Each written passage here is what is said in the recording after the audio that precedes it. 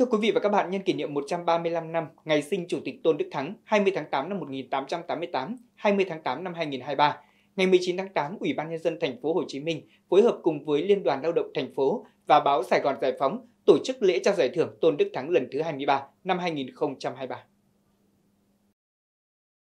Thông tin từ ban tổ chức cho biết, năm 2023 có 29 hồ sơ sáng kiến tham gia giải thưởng Tôn Đức Thắng. Các sáng kiến có đầu tư về chất lượng so với các năm trước, giá trị làm lợi của các sáng kiến cao, có sáng kiến làm lợi hơn 7 tỷ đồng trên một năm. Kết quả của những sáng kiến đã góp phần thúc đẩy sự ổn định và sự phát triển của cơ quan, đơn vị, doanh nghiệp, nâng cao năng suất lao động và chất lượng đội ngũ công nhân thành phố.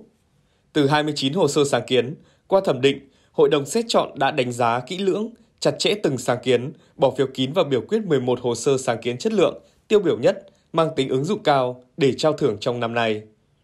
11 kỹ sư, công nhân tiêu biểu được vinh danh có nhiều sáng kiến cải tiến kỹ thuật, nhiều đề tài nghiên cứu khoa học thiết thực, được áp dụng vào quá trình lao động sản xuất kinh doanh, qua đó đã truyền lửa, khơi nguồn sáng tạo cho đồng nghiệp và công nhân lao động nói chung. Các sáng kiến tiêu biểu đạt giải thưởng đại diện cho các nhóm, sáng kiến trong các ngành công nghiệp, điện tử, điện lạnh, cơ khí chế tạo máy, chế biến lương thực, thực phẩm, công nghệ thông tin, nông nghiệp công nghệ cao, hóa học, xây dựng và ngành khác.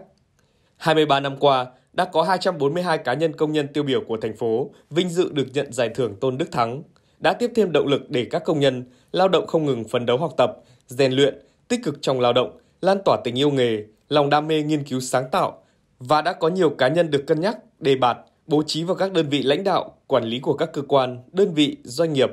Có những cá nhân đã đạt được những giải thưởng cao hơn như giải thưởng Nguyễn Đức Cảnh, những phần thưởng cao quý của nhà nước.